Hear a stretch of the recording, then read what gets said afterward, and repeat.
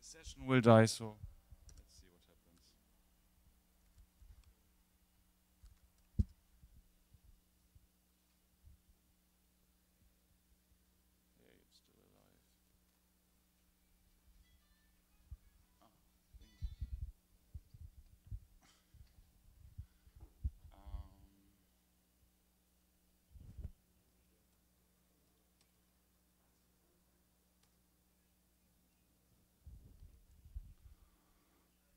So we have this is the setup in one room. We have the same setup in both rooms. We have three laptops in each rooms, and they are connected to the one camera in the front, the camera in the back, and this slide grabber here. And then there's at this laptop where Phil is sitting at the big camera. There's the DV switch program running, which you can use to switch between the different streams. Um, this is one setup maintaining the cameras and, and the room. Um, we, we stream in the day. In the night, there are jobs running which encode the videos to um, smaller resolutions. Um, this needs reviewing. There's a Penta interface for this, so you can mark files for reviewing. And um, these are the three work areas we have. We have those two rooms to cover and the reviewing. And today the chef this here will explain, I think, first the camera and then the reviewing process. Or maybe, I think that's the best. Um, reviewing needs to be done every day during um, the talks also, so that um, we don't have a backlog in the end. Um, I don't know what else to say in general. I think we should just start with the training and which is done. Franklin will introduce the camera workflow in the room, and Tiago will explain the reviewing process. Both are documented in the wiki.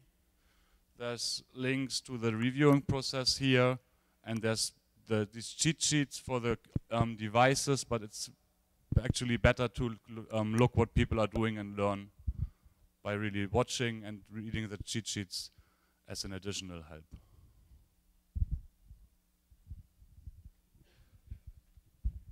Okay. There, there, Um, actually, it would be there, nice there. to show the DV switch, but we can't. Uh, well, uh, first maybe the camera. Uh, if you don't understand me, just let me know. Um, I'll try to speak slower and better. Um, we have two cameras. Uh, basically, this one is mainly intended to get uh, the audience. Uh, and the one, other one obviously is mainly intended to get the speaker. Uh, on some occasion, you may want to do different shots. Uh, Sometime we have, uh, at some point, we had someone standing here, which was doing translation, and it could be nice to show that guy, and only that camera could do it. Um, sorry for moving. Uh, with that's something we try to avoid. We avoid to move the camera when uh, when we during the talk, uh, because when we move the camera during the talk, it's crappy. So it's nice to avoid moving during the talk.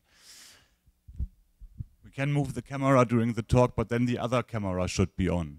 Because we can switch the sources, so Yeah, thank you for making making this clear. Um, okay, so with this camera, the usual. I don't know if you have done some video. Um, four years ago, I didn't do any, so uh, I just tried to, to give you all the tricks I've learned and we, uh, which I've been told. Um, if the speaker moves a lot, you probably want to have some large uh, shot uh, so you don't have to move the camera all the time again. Whereas if the speaker is standing still, uh, you can have narrow uh, shot just right on him. Uh, it's good idea also to move sometime and have different view, so the speaker is not always you don't always see in- see him in the same position. You can have smaller smaller uh, shot, larger shot. Um, this one is actually uh, requires actually more work. Um, I'll try to show the stream maybe. No. Uh, with this one, you want uh, to have a feedback from the audience. So it's nice at the beginning of the talk to have a large uh, shot to see the everybody in the room, um, especially the seat where there are people. Obviously, in this case, I would probably more focus on the right side than on the left side, or things like that. Uh, so those are nice to have, you know, a feeling of how many people are in the room and stuff like that. Um, during the talk, you can spot at some people in the audience. Uh, so the talk is more personal, and we know, you know, we are a community. We want to see that there's people in the room. Uh, obviously, we don't want to see people who are sleeping or we are uh, hacking on the laptop, but that's obvious. Um, we have a hint. Oh, yeah. People should always use the mic to ask questions. Because of this camera moving problem, there might be a problem if you make shoots of of one or two persons, and then the speaker asks how many. Then normally you should zoom out as as, as fast as possible, and um, you have two possibilities. Either not make these close shots, or or you move, um, or you zoom out and don't care about it that you shouldn't move the camera.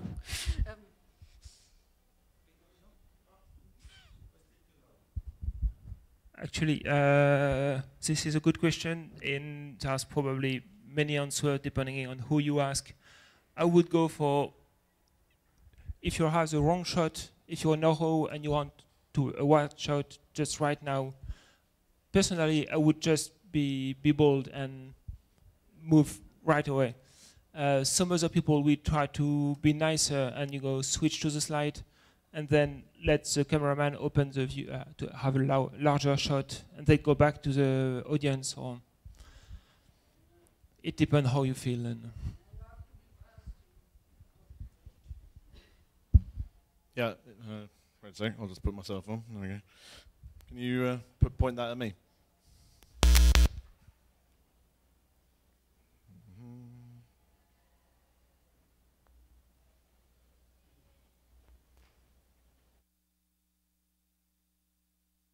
Uh, one thing that, if you're the director, is really annoying is when someone zooms into the person that's just about to ask a question, and you think, "Oh, great," and then the cameraman decides that it's not the perfect shot and tries to adjust it because that's the perfect moment to have gone to that camera and then the person's head goes whizzing around the screen. So if the shot's good enough, just leave it alone.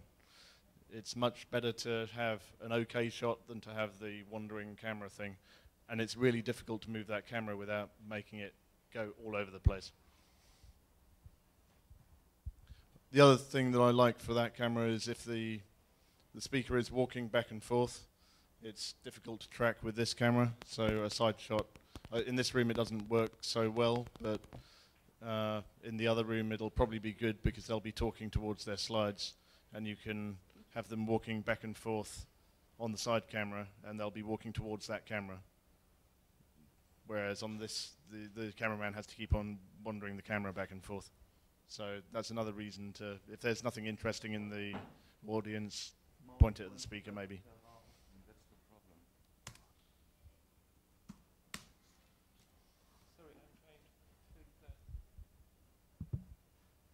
try talking too. If that doesn't work, let's see where I will publish. Okay, I fixed that.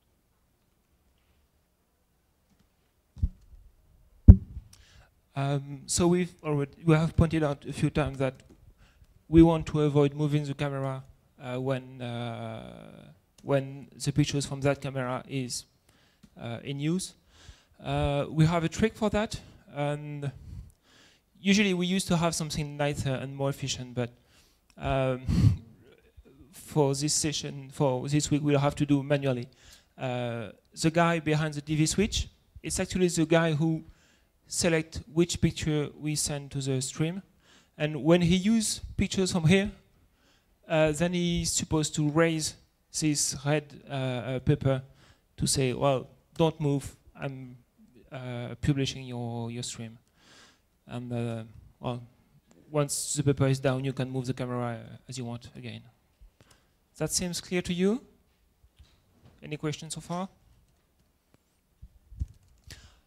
Um, we have yet another stream, a third stream, which, well, Um, it's the one from the presenter laptop. At this moment, I am the presenter, so I could, for instance, uh, show my screen. This picture comes from, I mean, from my laptop to this box. We call it Twin Pact. Uh, the resolution of the laptop should be 800 by 600 or 1024 by 768. The 800 by 600 is nicer because it's very large. Uh, for your information, the stream we are sending out is 320 by 240, so it's very slow. Very small. Sorry.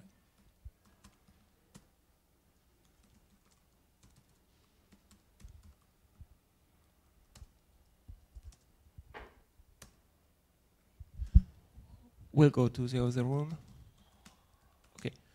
This is basically how big the picture are, uh, what we broadcast. Um, Can you try that? Yeah, no. Try- Try talking to now.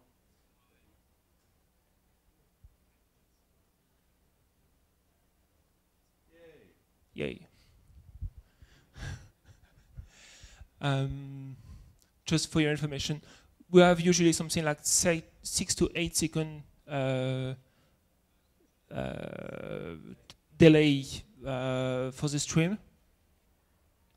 Um, well, that's fine. uh, as you can see, the what we push in the picture-in-picture is fairly small.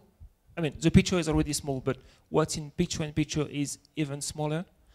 Uh, so when you use the whole of DV switch, uh, keep that in mind and don't expect people to be able to read the stuff. If it's a slide that is in the picture-in-picture, the small square thing, um, obviously it's almost impossible to read it. Um, what would we say about DV switch? So the, for the recordings, the quality will be better because the stream is really low quality, so everybody in the world can see the streams, but the recordings will have good resolutions and slides are better readable. Yeah, yeah, true. But still, what you said? Yeah. Franklin said. Good morning, Holger.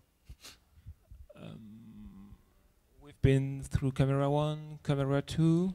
Uh, we usually have three microphones in each room, uh, one for with headset, and uh, one wireless. And I think the third one in each room has a, a cord. It's not connected right now, but it should be. Uh, there should be a microphone here going to the wall. Uh, this is a job for the audio stream. Maybe you want to, to say something about the audio, Magnus?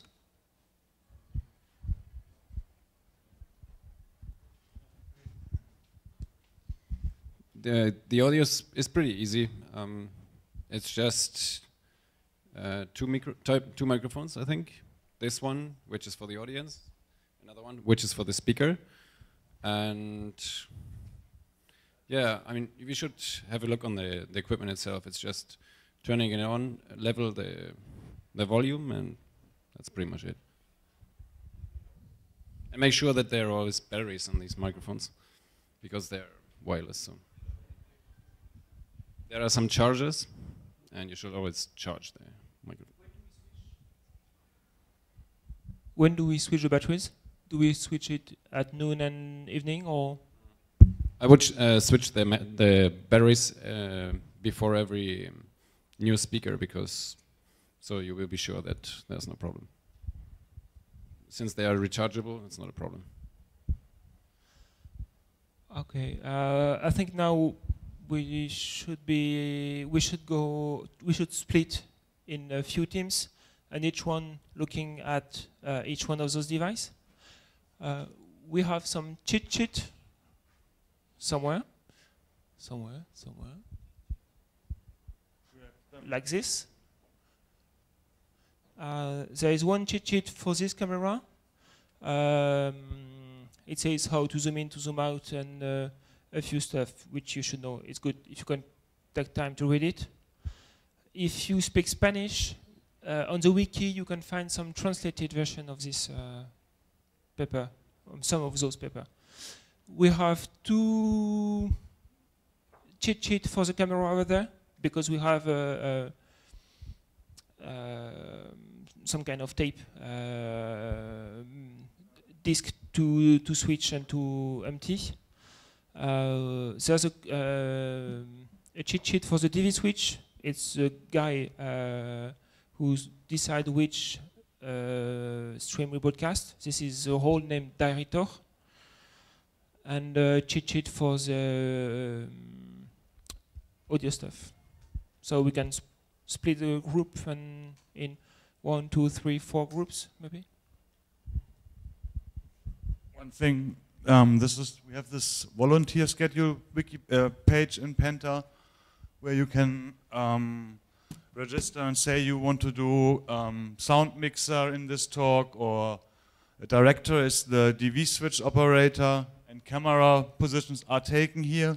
Please go through the schedule and um, join talks where you want to work at, at best today so that we can see where, which talks need more volunteers. Not just only show up, but also please sign up in Penta.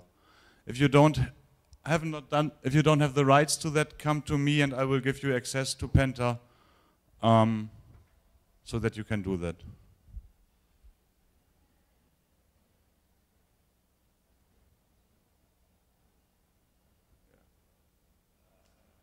The Talkmeister role is not related to the video team, and the coordinator is an experienced person who's um, sitting in the room and making sure that people are doing the jobs and show up and else find replacements. Okay, two camera operator, one director, uh, one sound mixer. Uh, the coordinator is something which is done per half day. So uh, you, you, should be quite experienced to do it because you're the guy in charge of helping others um, solving problems they have. And uh, if you take coordinator, take half day, all the morning or all the afternoon. Um, during the talk, uh, we can have a look at the IRC channels. There are two IRC, two IRC channels usually the guy at the DV switch use it. Um, and in the other room, we use the IRC channel to communicate between the audio, the people in the audio room and people at the DV switch to know if the sound level is okay on the stream. Uh, well, any question?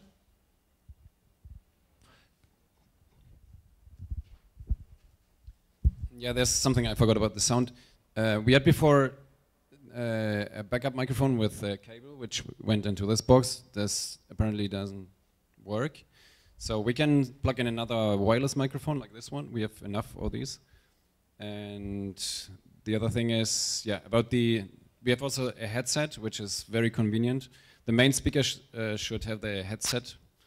Um, just make sure that, yeah, we can demonstrate this. Just make sure that the microphone, this is the microphone, that it's not like this, so you won't understand anything.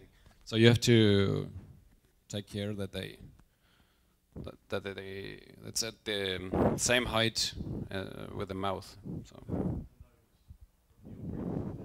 Sorry.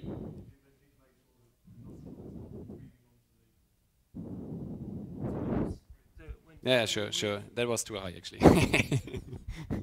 yeah, so This is giving this uh, microphone to the speaker is the role of the talkmaster, so it's not supposed to be our job, but we can help and make sure it's okay.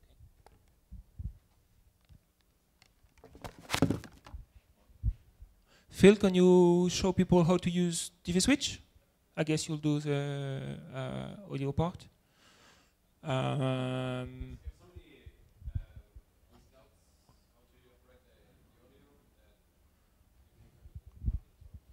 it says, yeah. Just go through all, all, all four jobs and try and actually touch the camera and uh, the actually try the camera, see how it's connected, uh, where you turn it on, off. Um, yes, on this camera you should uh, start recording uh, by pressing the button at the beginning of the talk and stop at the end. but people do. On this one, we don't have any tape, so it's no need to do it. And uh, DV, um, yes, that's also that's it.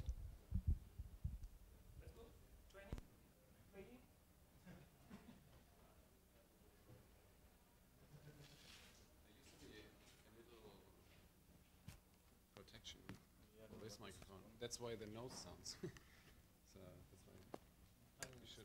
Maybe we can remake it from the from the box.